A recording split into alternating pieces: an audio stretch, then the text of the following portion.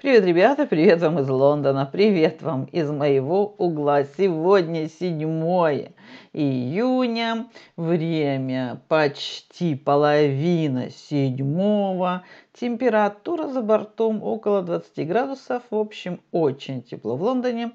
И я хотела бы, конечно, извиниться перед теми, кто давно ждет моего выхода в эфир, но так и, э, можно сказать, не дождался. Я, ребята, все время с вами, все время работаю, все время очень-очень сильно работаю над своей основной темой. А основная моя тема – это, как вы знаете, битва за, как говорится, права человека.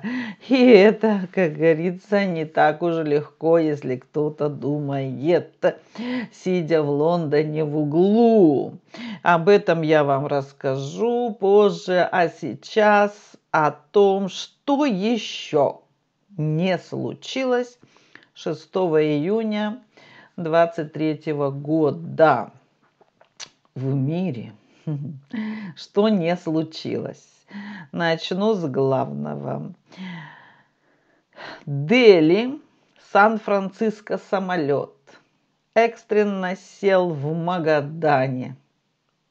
232 пассажира плюс 12 экипаж. Это накануне визита Моди в Вашингтон.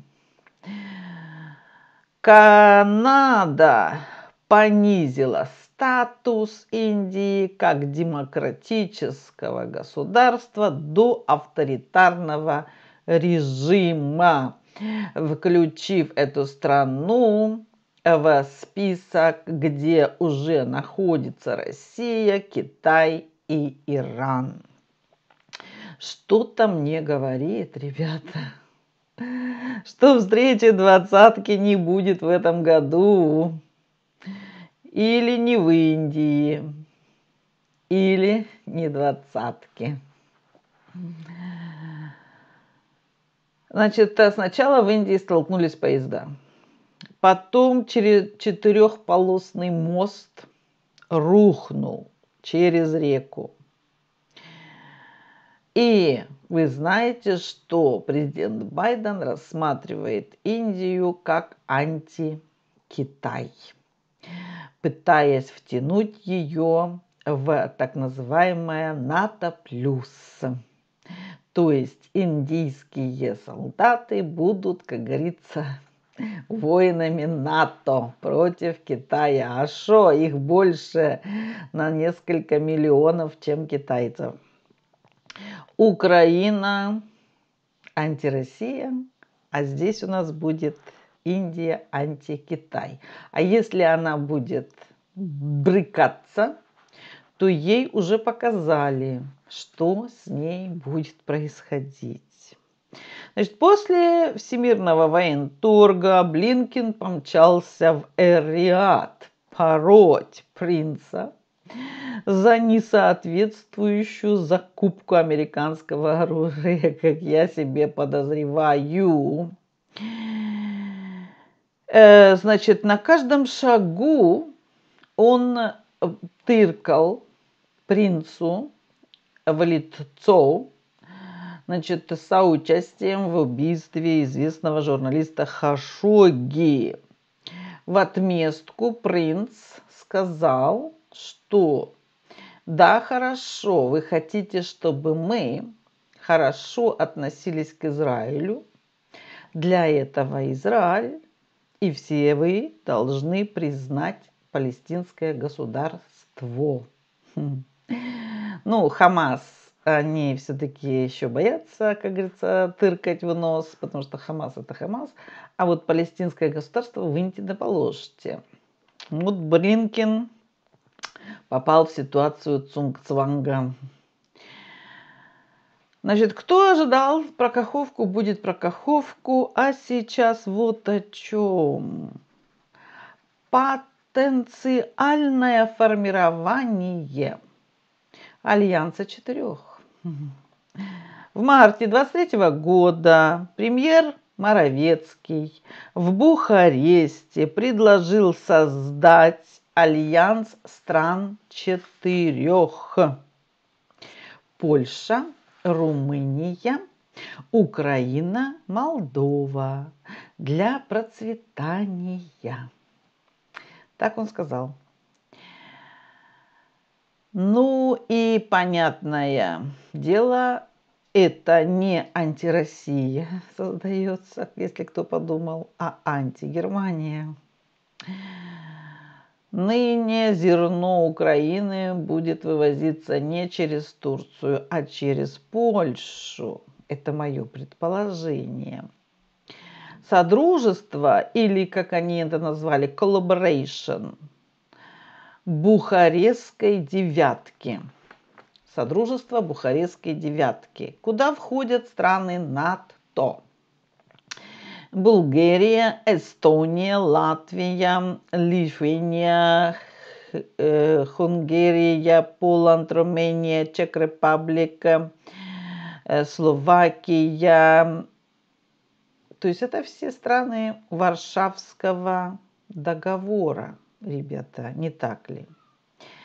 И они медленно, но верно превратились в так называемый румынский или бухарестская девятка, которая благословения запросила у США.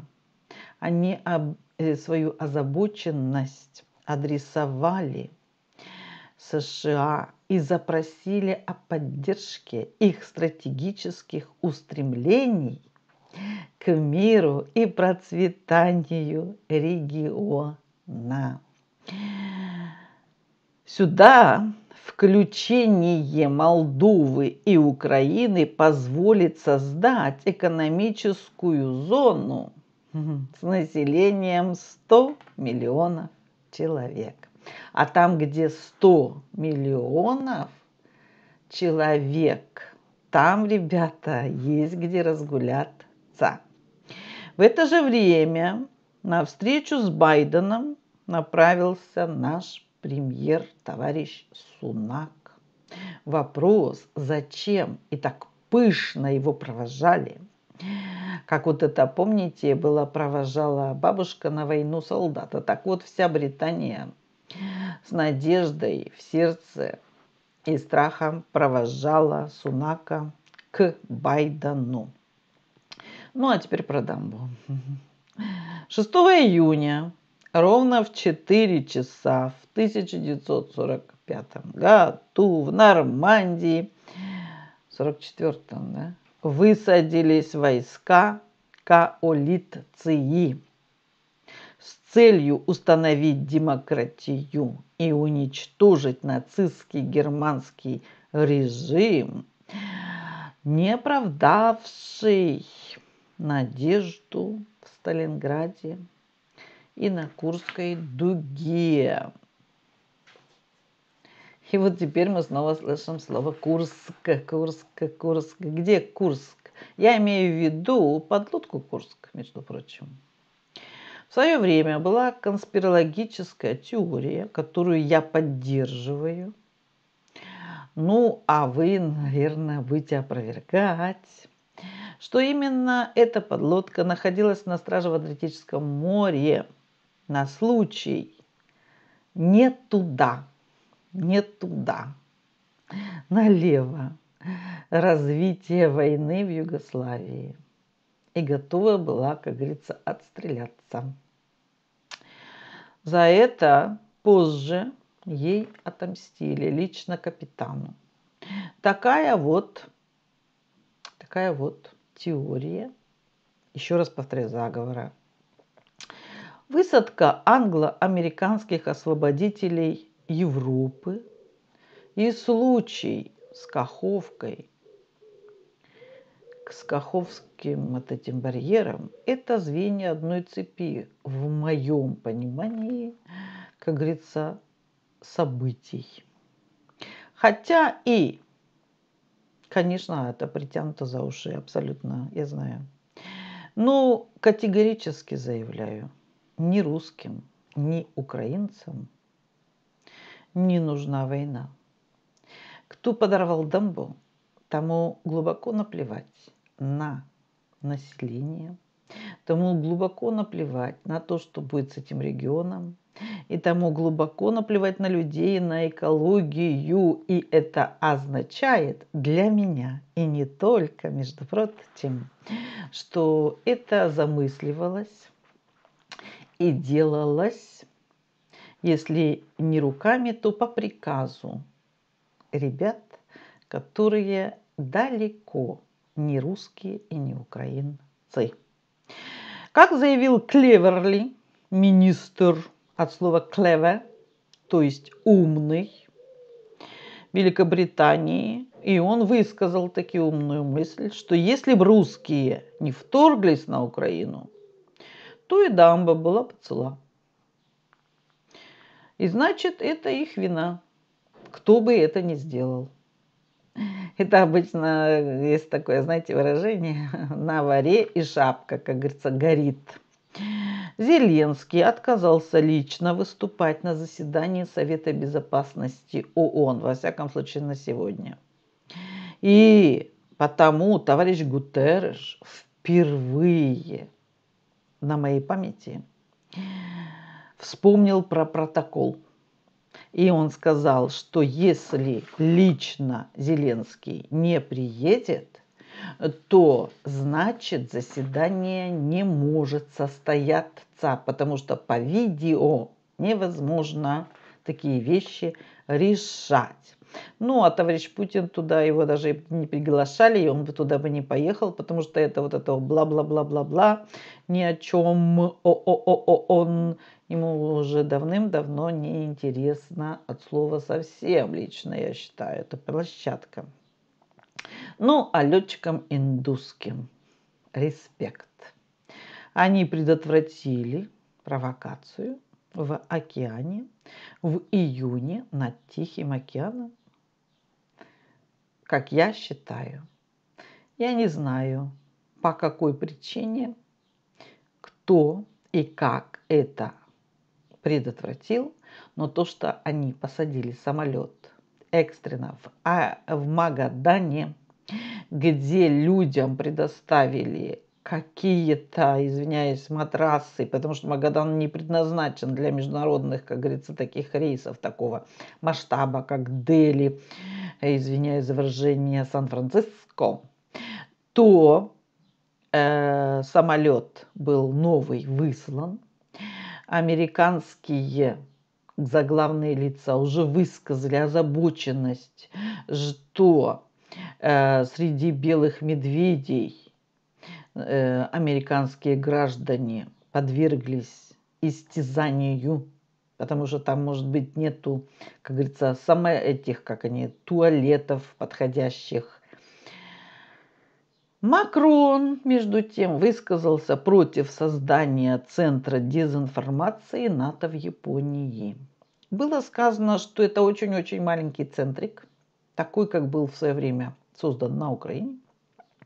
И причина, по которой Макрон не хочет, чтобы это было создано в Японии, просто смешит натовских вот этих вот ребят, которые на хорошей зарплате сидят в этих центрах и принимают решения. Зеленский пригрозил не ехать в Вильнюс, если ему честно не дадут входной билет в НАТО. Но, судя по тому, как спешно создается альянс четырех, в ход пошел план «Б». Воевать на Востоке будут восточноевропейские зарабичане – Права надсмотрщика над регионом. У Вашингтона поехал запрашивать британский нью-колониальный премьер. Кто сомневается в моих раскладах, для тех хочу сообщить, что буквально сейчас наш король находится в Румынии с долгосрочным визитом и посещает все-все-все места, включая Трансильванию. Инициатива трех морей. Три из СИ и 3SE бизнес в этом году пройдет в Румынии, чтобы показать всему миру, как серьезно к бизнесу относятся вот эти вот ребята, включая, конечно, и поляков, и румын, и молдаван, и украинцев.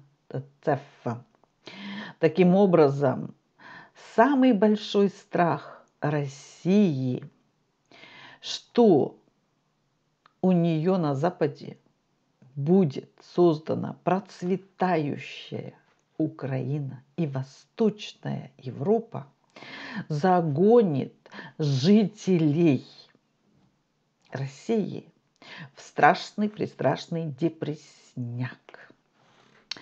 По мнению создателей инициативы трех морей. Прошу заметить, что раньше сюда входила Чехия, э, Венгрия, Румыния, не Румынии там не было, Словакия и Польша. Но теперь времена изменились. И изменились, что называется, игроки игроки. Ставка сделана на румын. А я отдельно расскажу вам про Великую Румынию. Это интересно. Значит, создан фонд уже по процветанию этого региона. Сказано, что здесь находится 100 миллионов. Находится что э, всякие разные людские ресурсы, что очень важно, дешевая рабочая сила, румыны и всякие разные молдаване и так далее, э, что всякие ресурсы здесь есть. Поэтому бабосы, пожалуйста, э, грузите апельсины бочками. Товарищи коммерсанты, приезжайте, сейчас уже э, война закончится, и мы будем создавать новую не скажу, конечно, Великую Румынию, но что-то мне подсказывает, что не Ржечь Посполита, а лицош такие симилярны. Раскрытие огромного делового потенциала Центральной и Восточной Европы на пороге, ребята. А там, где бабосы, там и наш король. А там, где наш король, туда течут бабосы. Ну, вот как-то так. А пока, пока.